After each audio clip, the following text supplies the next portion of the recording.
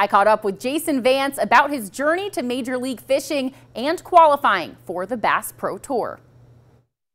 Jason Vance fell in love with fishing when he was a little boy. He had his own boat at 11 years old and spent countless days on the water.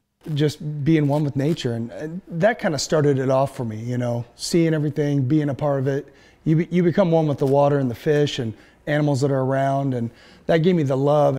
The first time Vance fished in a tournament, he said he did terribly. He woke up every morning for two weeks, wondering what went wrong. Since then, Vance has worked really hard, breaking down each lake and studying the baits he's throwing. I'm on Google Earth every day for at least four hours studying from the top what, what you're seeing, like where this creek comes in. Is that a feeder creek? You know, it, there's so much that goes into it. Vance couldn't believe it when he qualified for the Bass Pro Tour. He didn't know if he would make it since you have to be in the top eight, but he got the call and instantly accepted. He credits one last second catch for qualifying. If you're late, you're disqualified. And as time was winding down, Vance risked it with one last cast. He pulled in a five pounder, and that fish was the difference.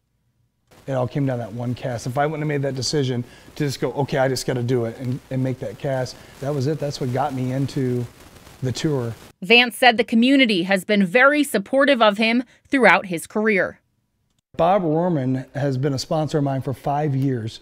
Trey Rohrman and his family um, have been so supportive. And then like Zach Brown, he jumped on and said, hey man, I'll sponsor you. Yeah, you can't ask for a better community. Vance said you have to have a good attitude in this sport because sometimes it's frustrating when you're so close and the fish comes off.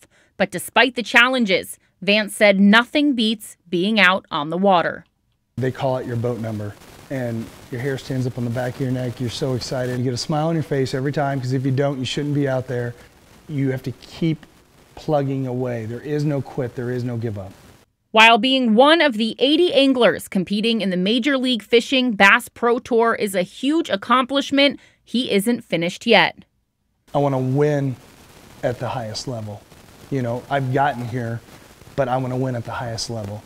I don't want to be second, I want to be third, I want to be first. Reporting from West Lafayette, Kelly Hallinan, Sports 18. Right now, Vance is in Louisiana competing in stage one of the Bass Pro Tour taking place at Toledo Bend. His group will compete on Wednesday.